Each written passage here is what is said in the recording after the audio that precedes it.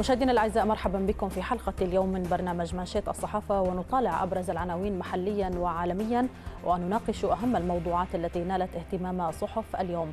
معنا في الاستديو للتعليق على عناوين اليوم الكاتب الصحفي عارف اليافع أرحب بك معنا أستاذ عارف في هذه الحلقة. أهلا وسهلا فيكم. أهلا بك ومشاهدينا نبدأ بأبرز ما تم تداوله في الصحافة المحلية بعد هذا الفاصل.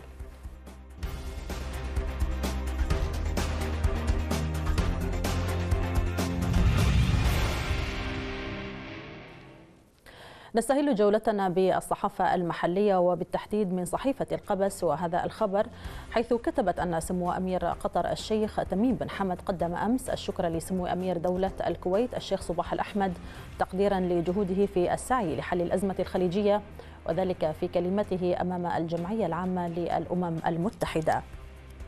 صحيفة الأنباء عنونت افتتاح الدورة الرابعة والسبعين للجمعية العامة للأمم المتحدة بحضور ممثل سمو الأمير ووزير الخارجية وترأس وفد الكويت في الوزاري التشاوري العربي وقمة المناخ وشارك في الدعوة الدولية لحماية الحرية الدينية. وفي صحيفة الكويتية نقرأ هذا المنشط وزير الخارجية يشارك في اجتماع المجلس الوزاري الخليجي الصيني. في صحيفة الوسط تناول تأكيد رئيس مجلس الأمة مرزوق الغانم على أن على آسيا وأوروبا التركيز على الهموم المشتركة لدول القارتين مشددا على ضرورة التصدي لخطاب الكراهية والعمل حثيثا على وضع حلول نهائية للملفات المزمنة تاريخيا وعلى رأسها القضية الفلسطينية. أستاذ عارف أبدأ معك بهذا الخبر تأكيد. رئيس مجلس الأمة مرزوق الغانم يؤكد على أن على أوروبا وآسيا التركيز على الهموم المشتركة وأيضا التصدي لخطاب الكراهية كما يتحدث أيضا عن الحلول النهائية للملفات العالقة ومنها القضية الفلسطينية. ونبدأ معك بقراءة لهذه الكلمة. نعم في الحقيقة أولا بسم الله الرحمن الرحيم. كانت كلمة رئيس مجلس الأمة مرزوق الغانم كلمة ضافية وشاملة تكلم بلسان آسيا وتكلم أيضا بضمير دولة الكويت بلد الإنسانية تكلم عن يعني شخص الداء ووصف الدواء من خلال يعني إنه إبعاد أو إبعاد الخطاب الكراهية وضرورة نظرة أوروبا إلى آسيا النظرة الإنسانية والأخوية بعيدا عن التعالي وبعيدا عن النظرة الاسيا التي تصدر المشاكل وأيضا ضرورة حل الملفات العالقة وذات يعني التي عانت منها آسيا والوطن العربي بالذات مثل القضية الفلسطينية في بدايتها.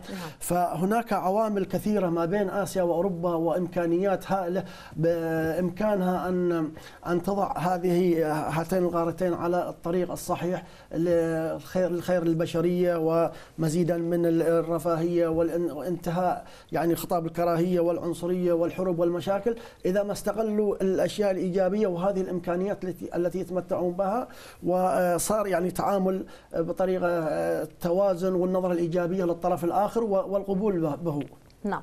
في خبر آخر ننتقل فيه إلى صحيفة النهار التي عنونت تسهيل إجراءات التأشيرة السياحية ولجنة من الداخلية والخارجية والإعلام تدرس تخفيف الشروط لتلائم رؤية كويت 2035 إذا نتحدث عن لجنة من الداخلية والخارجية والإعلام لتسهيل إجراءات التأشيرة الداخلية وفق رؤية الكويت 2035 كيف تعلق على هذه الخطوة؟ نعم أولا الكويت لديها إمكانيات كبيرة في مجال السياحة. الكويت مرغوبة الكويت يعني تحبها الإنسانية كلها وتريد أن تأتي إلى الكويت ك سياحة وكالاطلاع على معالمها الثقافية والتراثية سواء القديمة أو الحديثة حتى مثل دار الأوبرا وغيرها من المعالم الأخرى. والكويت يعني أيضا لها, لها إرث شعبي وثقافي وفني.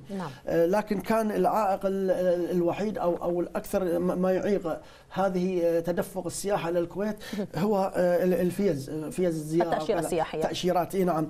ولكن تشكيل لجنة من من أهم ثلاث وزارات معنية بهذا الشأن. أعتقد أنه راح يسهل الصعوبات وراح يفسح المجال. أيضا لو أخذنا مثلا المقيمين العرب في دول الخليج يعني هناك ملايين. كثير منهم يرغب أن يأتي إلى الكويت والزيارة قريبة وسهلة. سوف يأتون إلى الكويت في الأعياد الوطنية وهلا فبراير وفي عطلهم هناك الرسمية لكي يتمتعوا بأجواء الكويت ومناظرها. وكثير من الامكانيات وجزرها نعم. أيضا. وبالتالي أستاذ عارف يعني إلى أي مدى سيكون يعني موضوع تسهيل التأشيرة السياحية سيكون دخلا جديدا أيضا يضاف إلى الكويت عن طريق السياحة. بالتأكيد يعني السياحة بحد ذاتها تعتبر صناعة وهناك دول تعيش على السياحة حتى دول عربية زي المغرب مصر لبنان الأردن. هذه دول متقدمة في مجال السياحة ويعني استطاعت ان أن تضيف دخل قومي لدخلها. من السياحة. فالكويت الآن بما أنها تعمل على تعدد مصادر الدخل غير وعدم الاعتماد على النفط, النفط. فبالتالي يعني في مجال ان إن تكون للكويت سياحة ويكون لها دخل قومي إضافي غير النفط والفرص كثيرة وواعدة جدا إذا ما تم التسهيل أكثر لموضوع التأشيرة في موضوع التأشيرات. نعم. في خبر آخر من صحيفة الجريدة إنشاء المنطقة الاقتصادية الشمالية في عهدة المجلس والمشروع يضع الكويت على خريطة السياحة العالمية. الحكومة أحالته بصفة الاستعجال مكونا من 52 مادة ويسعى إلى تحقيق تنمية شاملة مستدامة على المساحة المخصصة له. صحيفة الرأي طبعت العنوان التالي السفير الأمريكي الملكية الفكرية سيزيد الاستثمار في الكويت. واعتبر أن رؤية 2035 مبنية على التنوع والابتكار والاستثمار الأجنبي. ننتقل الآن مشاهدينا إلى الصحف العربية والعالمية بعد هذا الفاصل.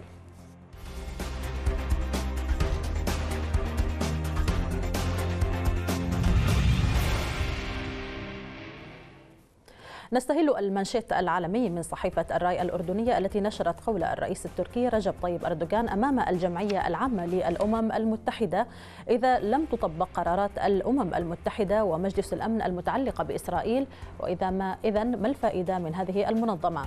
وأضاف إذا لم نكن مؤثرين عبر قراراتنا التي نتخذها فأين ستتجلى العدالة؟ داعيا الأمم المتحدة إلى دعم الشعب الفلسطيني بما هو أكثر من الوعود. وحول خطة السلام الأمريكية المعروفة إعلاميا باسم صفقة القرن تساءل أردوغان هل الغاية من المبادرة المطروحة على أنها صفقة القرن القضاء على دولة فلسطين ووجود شعبها بصورة تامة؟ أستاذ عارف بالأمس يعني تطرقنا لمقال أو تناولنا في, في هذا المقال بأن اليوم الأمم المتحدة أصبحت عاجزة عن حل المشاكل العالمية.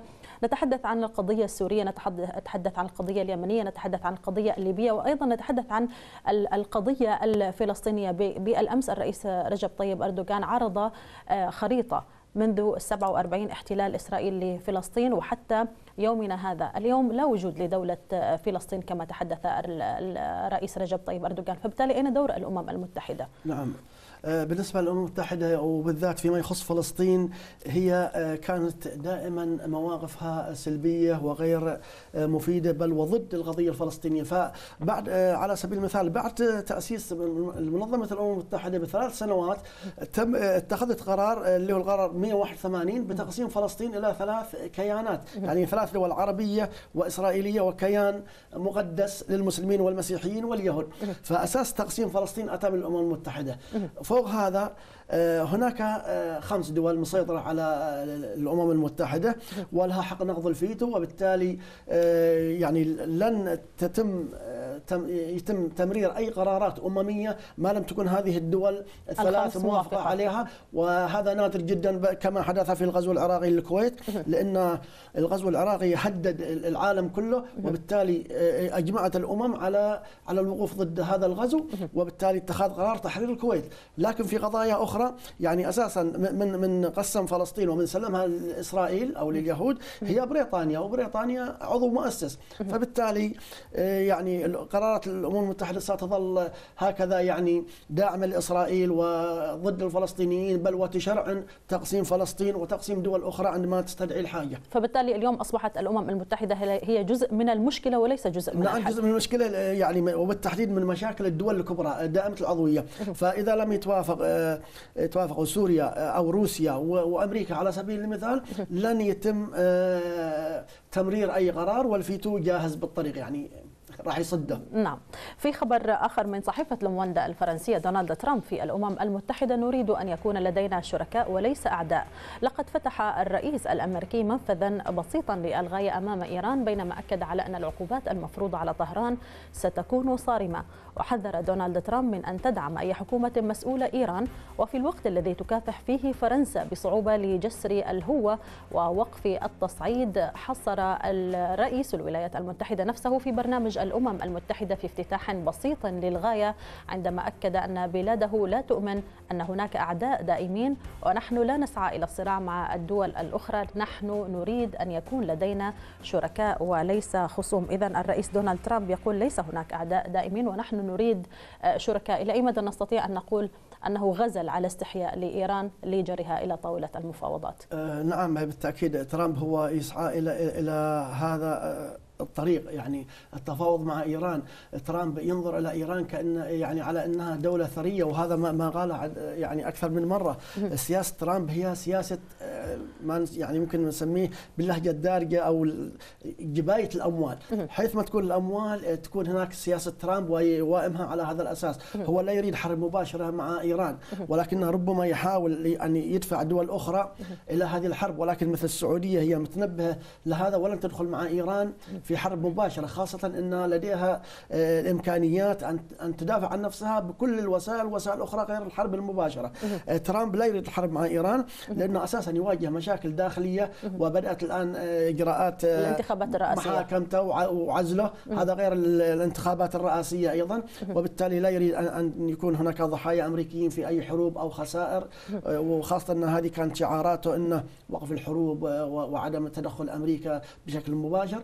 وبالتالي هو يسعى إلى إلى جر إيران إلى إلى مفاوضات مباشرة.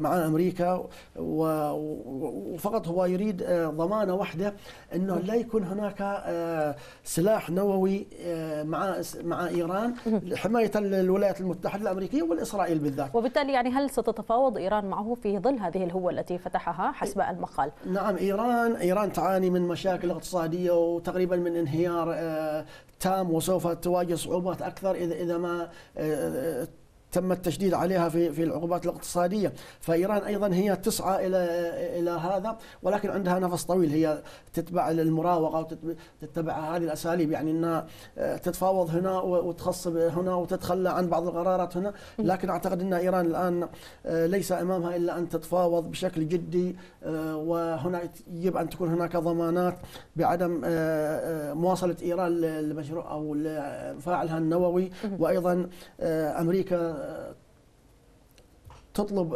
مصالحها أو أو تضمن مصالحها المالية من إيران وسوف يتفاوضون يتوصلون إلى حل وهناك جهود مثل جهود سلطنة عمان وغيرها.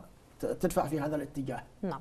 في خبر آخر نتنياهو أو جانتس المعضلة المأساوية التي تواجه فلسطيني الأراضي أو أراضي 48 حسب صحيفة ميدل إيست آي هذا يشير إلى درجة الفوضى في المشهد السياسي الإسرائيلي اليوم من خلال وضع حزب أفيغدور ليبرمان الذي اقترح من بين أمور أخرى نقل المواطنين العرب خارج إسرائيل بالكامل حسب تعبيره ويثبت القرار شيئا واحدا فقط عمق مأساة المواطنين الفلسطينيين داخل الخط الأخضر والذي كان اختيارهم الافتراضي هو الرجل الذي شملت حملته الانتخابية التفاخر بعودة غزة إلى العصر الحجري خلال حرب 2008 و2000 8 2009 والذي تفاخر بالأعداد الهائلة من الفلسطينيين الذين قتلوا في تلك الحرب والتي تظهر تصريحاته أنه لن يتردد في فعل الشيء نفسه.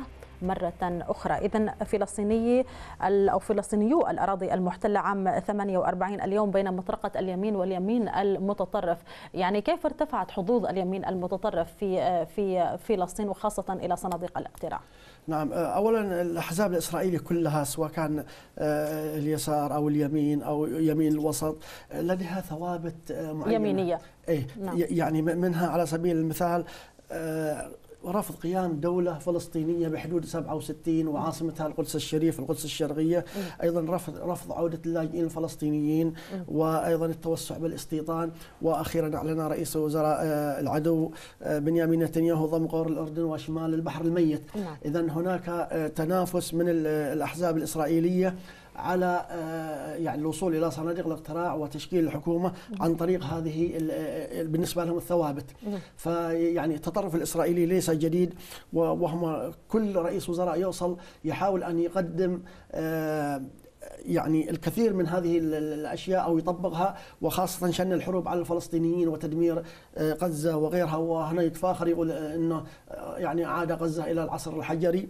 فيعني آه، سوف تستمر المعاناة الفلسطينيين وسوف يستمر السباق الإسرائيلي للوصول إلى الحكومة و يعني الفوز بالكنيسة عن على حساب الفلسطينيين وعلى حساب القضايا العربية. نعم. في خبر آخر يتعلق بالبريكسيت قضت المحكمة العليا البريطانية الثلاثاء بأن رئيس الوزراء بوريس جونسون أوقف البرلمان بشكل غير قانوني حيث وجهت له ضربة قوية أخرى قبل شهر واحد فقط من مغادرة بريطانيا للاتحاد الأوروبي وفق تعليق لصحيفة نيويورك تايمز. وقضت المحكمة بالإجماع بأن تعليق البرلمان حتى 14 من أكتوبر كان باطلا وأن المشرعين ما زالوا في الجلسة ويمكن أن يواصلوا النقاش حول خروج بريطانيا من الاتحاد الأوروبي والذي قضى السيد جونسون بفترة قصيرة عندما طلب من الملكة تعليق البرلمان أو امتيازه لمدة خمسة أسابيع إذا يعني ليس من المعتاد تدخل القضاء في السياسة البريطانية وهنا تقر المحكمة العليا بعدم قانونية تعليق البرلمان قبل خروج بريطانيا من الاتحاد الأوروبي. هذه الأزمة إلى أي مدى ستؤجل من خروج بريطانيا من الاتحاد الأوروبي؟ نعم آه، بالنسبة لرئيس الوزراء جونسون هو لحد الآن مصر على أن بريطانيا ستخرج بحلول الحادي والثلاثين من شهر أكتوبر. نعم. يعني يعني ما في مجال. ولكن هناك أزمة متصاعدة آه، ويواجهها آه، في كافة الاتجاهات الآن البرلمان حتى داخل حزبه يعني كثير من الأعضاء معارضين وبعضهم استقال وبعضهم يعني أغالهم هو بنفسه. فبالتالي راح تؤثر هذه الأزمة على بريطانيا. قد قد توصل إلى إلى مظاهرات واضطرابات نقص حاد في المواد الغذائية. وبالتالي يعني هي أزمة مفتوحة. آه، مقابل إصرار آه، جونسون على على الخروج. وأيضا يعني ليس أمامه إلا أنه يتحدي القانون يتحدى القانون ويخرج في 31 10 أو الاستقاله أو آه، طلب مهلة التمديد من الاتحاد الأوروبي. وهذا وأيهما ترجح؟ والله أنا أعتقد انه ربما الاستقاله وإجراء انتخابات آه، مبكرة هو يسعى إلى هذا. وبالتالي إرجاء الخروج بريطانيا من الاتحاد نعم إرجاء بالتأكيد لأنه هو يريد انتخابات مبكرة بأي طريقة كانت ولكن أحزاب المعارضة آه، يعني ترفض هذا الشيء لأنه ليس في صالحها ويعني ليس أمامهم الا إلا هذا الشيء وهو لن يتراجع عن عن قراره. نعم.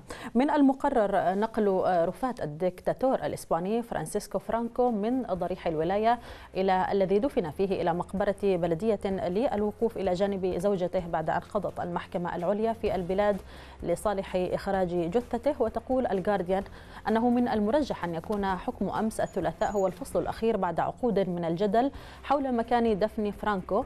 وكانت إزالة جسده من قبره في وادي السقوط التذكاري بالقرب من مدريد حيث تم وضعه بعد وفاته عام 1975 من أولويات حزب العمال الاشتراكي الإسباني منذ توليه السلطة في يونيو من العام الماضي.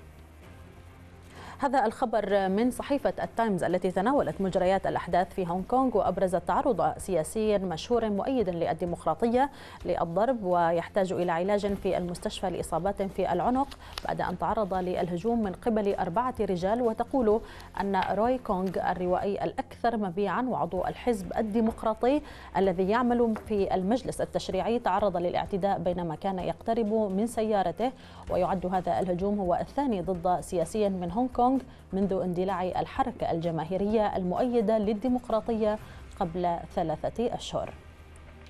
إلى مقال اليوم.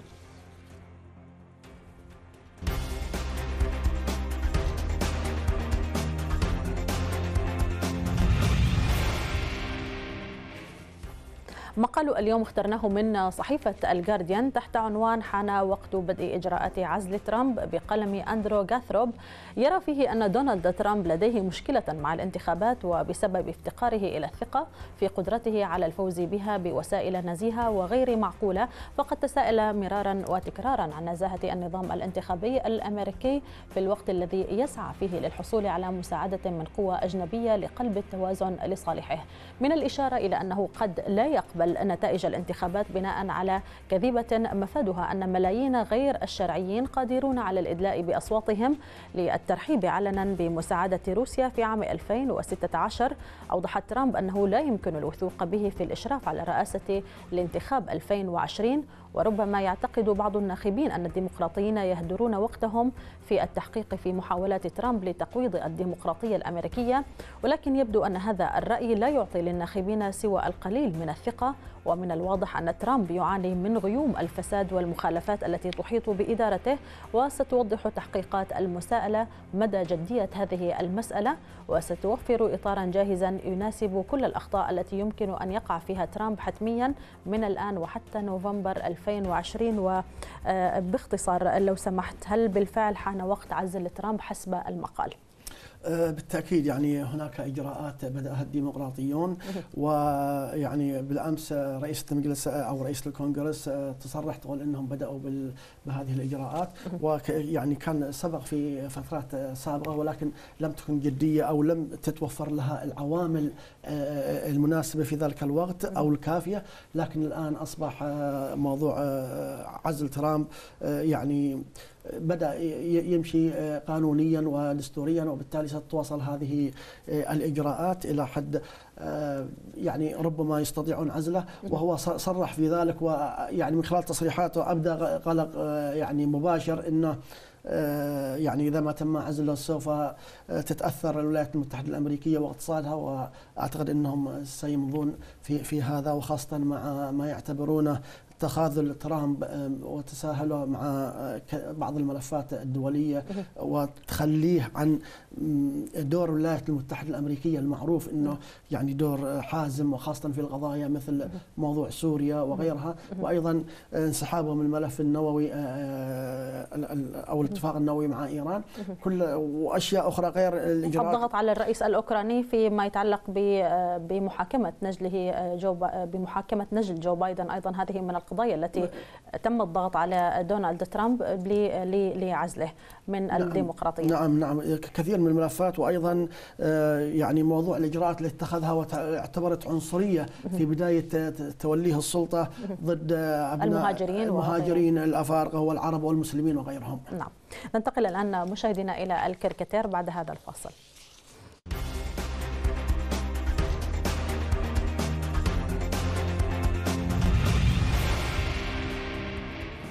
كاريكاتير اليوم اخترناه من صحيفة الصباح ولك التعليق. طبعا أيادي أهل الكويت تفرش الورود لأمير الإنسانية صاحب السمو أمير البلاد الشيخ صباح الأحمد الجابر الصباح حفظه الله. عندما يعود إن شاء الله بالأيام القادمة سليما معافى. وعلى شكل خريطة الكويت يعني أن الكويت كلها ترحب بسموه ويعني القلوب مفتوحة له قبل الأيادي وقبل الورود. وإن شاء الله الناس يعني سنراه قريبا هنا بيننا معافى مشافى وكلنا سنكون في استقبال إن شاء الله. نعم ونحمد الله على سلامته ونتمنى عودته بالسلامة بإذن الله. إذا مشاهدينا بهذا الكاريكاتير وصلنا معكم إلى نهاية هذه الحلقة من منشط الصحافة. أشكر ضيفي الكاتب الصحفي عارف اليافعي على تواجده معنا في هذه الحلقة وأشكركم على طيب المتابعة. إلى اللقاء.